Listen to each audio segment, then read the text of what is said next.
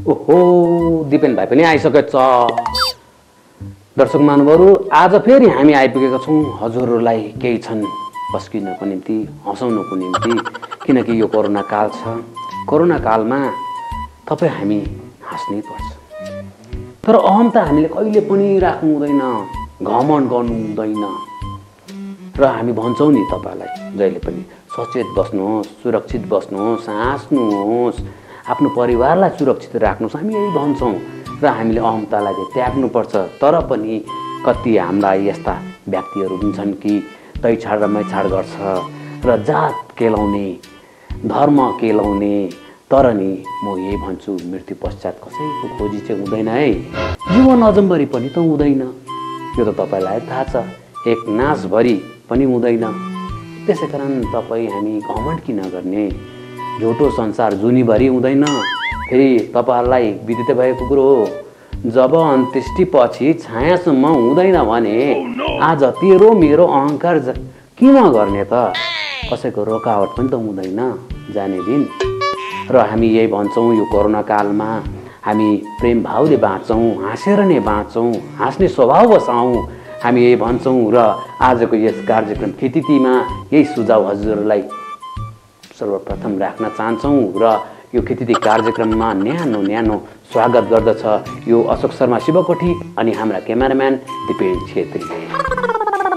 र दर्शक महानुभावहरू यो कोरोना काल चलिरहेको छ यो कोरोना कालमा लकडाउन पनि भइरहेको छ र रक्सो दोकान बन्द छ बुढीहरू खुसी छ। अनि यता फेरि तपाईँको ब्युटी पार्लर पनि बन्द छ। बुढा गदगद छ। स्कुल कलेज पनि बन्द छ छोराछोरीहरूको दसैँ भइरहेको छ खुसी छ। यो कोरोना कालले साँच्चै नै हाम्रो परिवारलाई पनि ह्याप्पी फेमिली बनाएको छ। र यो ह्याप्पी फेमिलीको त कुरा छँदैछ। र अब अर्को चुटकेली जोक तपाईँलाई सुनाउन चाहन्छु।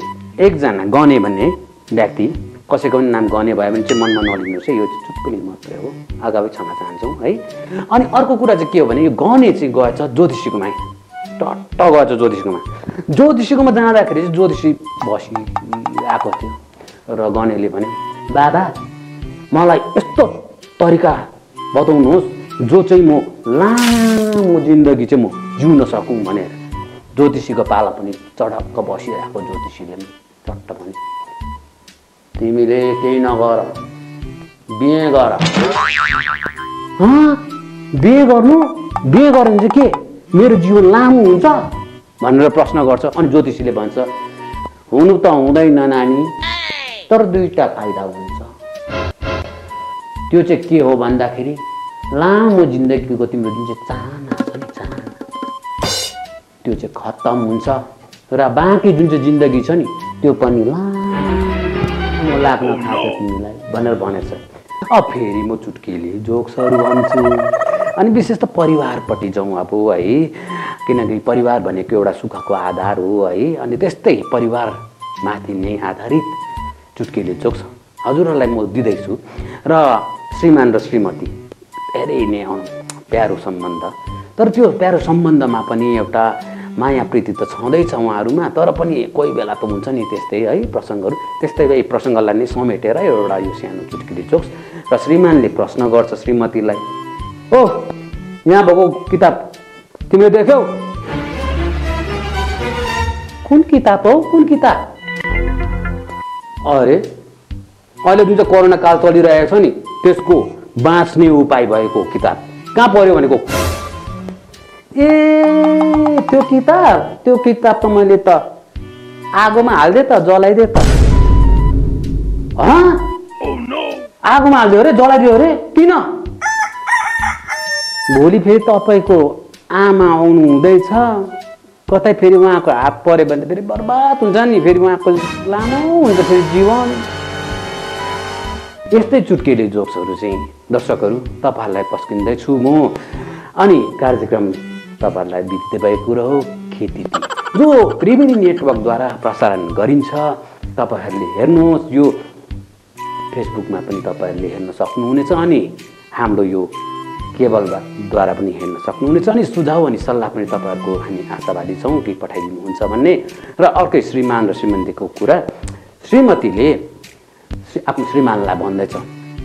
औ औ सुन न मेरो कुरा। के भयो? हेर त्यो तिम्रो साथीले बिहे गर्न लागेको केटी छ नि त्यति राम्रो छैन है।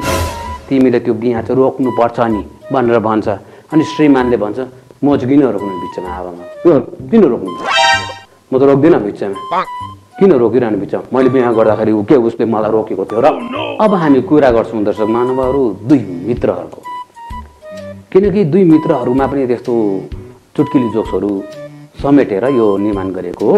अनि यो दुई चुटकिली जोक्समा चाहिँ अब कतिजनाको नाम हामीले हालेको हुन्छौँ त्यसमा तपाईँले अनर्थ नसम्झिनु होला यो हँसौली ठट्टौली मात्र हो कार्यक्रम खेतीती।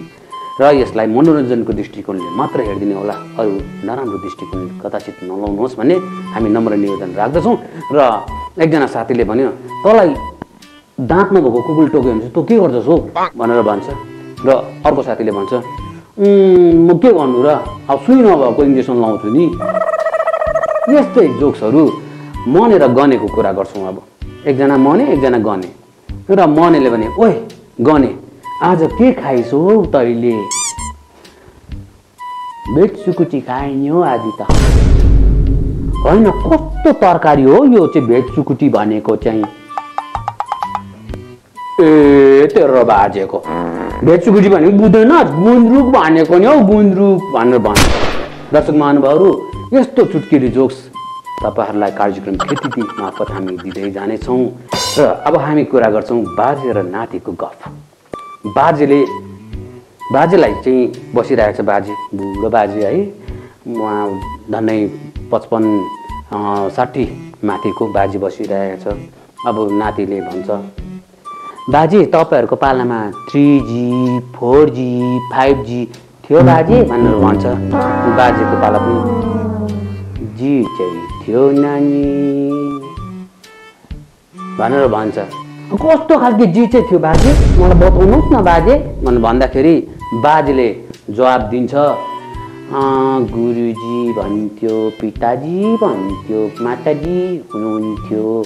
अनि एक झ्यामट उहाँले हिकाएपछि त सबै नेटवर्कै काम गरिरहेको नि। हौ भनेर भन्थ्यो। र दर्शक मानवहरू यो बाजे र नातिको प्रसङ्ग पनि हजुरलाई सुनायौँ। अहिले घरि कोरोना काल चलिरहेछ फेरि हल्ला पनि फैलिरहेको छ कि नमस्ते गर्दाखेरि कोरोना पनि चेप्टिन्छ अरे भन्ने कुरो। यस्तो कालमा धेरै उखानहरू हाम्रो नेपाली समाजमा बन्नु पनि त सकेको छ। भन्नुपर्दा कस्तो खालके उखान भनेर तपाईँहरू सोच्नु हुँदै होला होइन? त्यो उखान चाहिँ कस्तो भने भिडमा जाने गोरुलाई क्वारेन्टाइनमा राख्न सकिन्छ काँध हाल्न सकिँदैन। चमेरा खाने चिनिया चोट पाउने दुनियाँ नदेखेको कोरोना भाइरस यमराज मान्छ त्यस्तै प्रकारले कोरोनाले तर्सेको मान्छे ज्वरो र खोकी र सर्दीले पनि तर्सेको हुन्छ। मुखलाई मान छैन हातमा सेनिटाइजर। हुलमुलबाट आफूलाई जोगाउनु कोरोना कालमा तपाईँ हाम्रो जिउ जोगाउनु। र यो भयो हाम्रो नेपाली समाजको उखान। र अब हामी कुरा गरौँ बुहारी र सासू माझको कुरा। अनि नयाँ बुहारी चाहिँ घरमा भित्राएछ र सासू बुहारी बिचको अब कुरा र बुहारीले चाहिँ अब सासूलाई भन्दैछ मम्मी मम्मी अहिलेको मोडर्न जमानामा के ढोक्नु? आउनुहोस् न हक गरौँ न भनेर भन्छ। अनि सासूको पाला बेचारा बुझेन हक भनेको चाहिँ के हो? छि छि छि छि कस्तो बुहारी चाहिँ भित्र पुगेछु कठैभरि एक्लै हौ म त आउँदिनँ। अब कुरा गर्नेछौँ मत्तु अब यो नसालु पदार्थ भनौँ है मदपान मद मदिरा लागु पर्दा यो सेवन गरे बापत भोलिपल्ट जब ह्याङओभर हुन्छ मथुहरू त्यस्तो स्थितिमा चाहिँ अब मथुले भन्दैछ। अब उसको बिहान तट राति पुरा माथेको टाउको दुखिरहेको छ त्यति बेला चाहिँ गनगनिँदैछ मत्तु रातभरि रक्सी खाएर घर पुगे। दैलो ढकढकाएकै हो। त्यसको बाउको मेरो बुढीले त दैलो नै खोलेन नि हौ अन्त? अन्त के? रातभरि बाहिर नै सुतिदिए मेरो पाला। लाजा भनेर। बिहान रक्सीले छोडेपछि बल्ल अहिले मलाई याद आइरहेको छ कि बुढी त माइत पो गएको छ भनेर। कसो कसो गर्नु मैले यसो गोजीमा हात हालेको त चाबी पनि त्यसको बाउको मेरो गोजीमै पो रहेछ। यस्तो जोक्स मथुहरूको हुन्छ दर्शक महानुभावहरू त्यसै कारण यो नसालु पदार्थको सेवन कदाचित नगरौँ। हाम्रो घर हाम्रो समाज र हाम्रो राष्ट्रलाई स्वच्छ बनाएर राखौँ। नसाला पदार्थको सेवनले तपाईँ हाम्रो जिन्दगी सर्वनाश हुन्छ। सचेत बसौँ। हाँसेर बसौँ खुसी भएर बसौँ।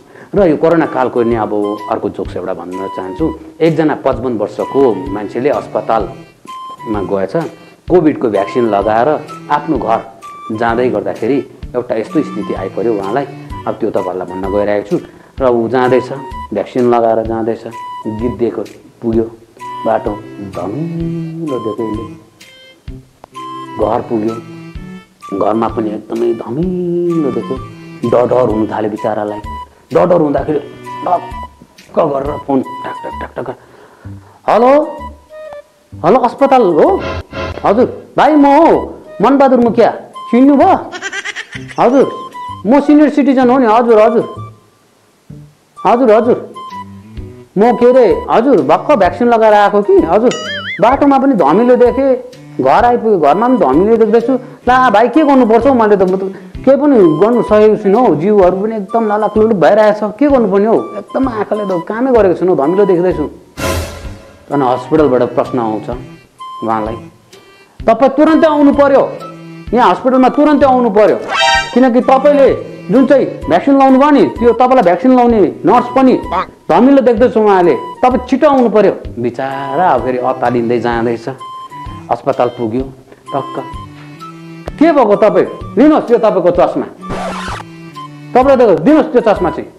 तपाईँले कहाँ नर्सको चस्मा लिएर जानुभएको? अन्त यो नर्सको चस्मा लगाएर तपाईँलाई थोरै अन्त चक्सिलो देख्छ र। धमिलो देख्छ नि। भनेर चाहिँ चस्मा नर्सको चस्मा चाहिँ मागेर राखेर उस उहाँको चस्मा दियो। भन्नुको मतलब उहाँले नर्सको चस्मा लिएर गएछ दर्शक महानुभावहरू आजभोलि डरै डरमा जिउने तातो पानी पिउने मुखमा मास्क कस्ने सेनिटाइजर घस्ने बाहिर कतै नगइकन घरभित्रै बस्ने अनि तपाईँ र तपाईँको परिवार सुरक्षित बस्ने सधैँभरि हाँस्ने खुसी बस्ने यही भन्दै म अशोक शर्मा अनि मेरा क्यामेराम्यान दिपेन थापालाई पनि आजको खेतीती कार्यक्रमबाट बिदा दिनुहोस् हेर्दै गर्नुहोस् त्रिवेणी नेटवर्क।